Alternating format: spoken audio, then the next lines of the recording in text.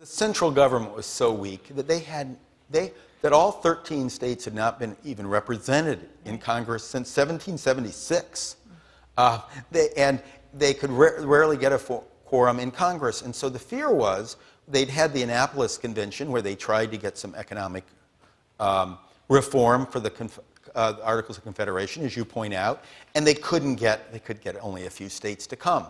And so they knew that, that the leaders of this, the people pushing it, and Washington, of course, was one of the people pushing it, knew that Washington, he was truly, along with Ben Franklin, who was quite elderly at the time, was in his 80s, he was the one true national celebrity.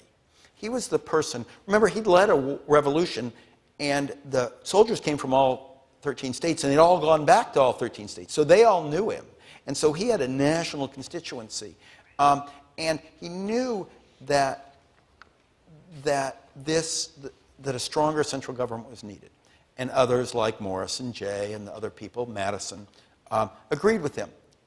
But none of them had the stature to pull it off besides Washington. But Washington knew was, or feared that it was a one-shot deal. He had credibility. But if he, had, if he went and it failed, and it failed, well, he'd lose his credibility. He, he had a great sense of public opinion. He had this instinctive sense of he knew it was a republic, and he knew the people ruled, and he had this instinctive sense of how they would react. And if it failed, he would lose his credibility. Then there'd be no one to pull it together.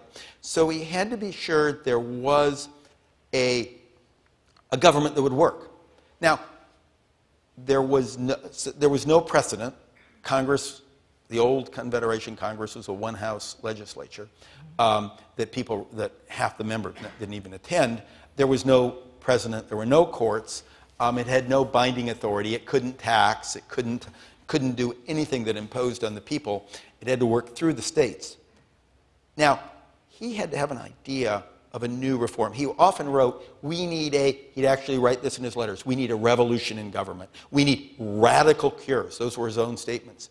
And so, what he did, before he agreed to come, he wrote letters to the people he trusted most to John Jay, Henry Knox, who was head of the War Secretary at the time, um, uh, to James Madison, asking them, well, what sort of government should we have? And they all sent him letters. And he read those over.